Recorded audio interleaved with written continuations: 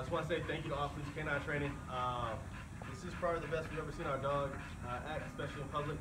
Uh, so really excited. The, uh, the, the daily videos definitely something we look forward to every day, uh, and it just kind of let us know that you know Sage is in good health and uh, that she was getting the training that uh, that we signed up for, and uh, it's very impressive to see the the day over day improvement.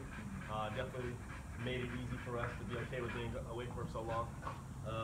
Pretty impressed with what we've walked into, picking her up, the her way she responds to all the commands. Like she, she really doesn't know what the commands are, so that's pretty cool. Uh, and excited to keep working with her.